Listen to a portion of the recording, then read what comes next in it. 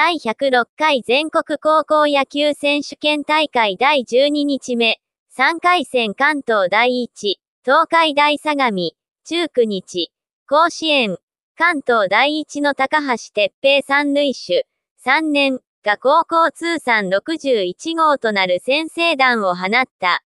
7回先頭で打席に立った高橋は、東海大相模、藤田流星投手、3年のチェンジアップを捉えると、打球は左中間へ一直線。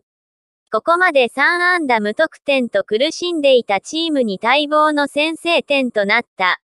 東海大相模と関東第一の対決は小笠原、現中日、オコエ、現巨人。以来、2015年の第97回大会準決勝以来9年ぶり。同試合で勝利した東海大相模は、45年ぶり2度目の全国優勝を果たした。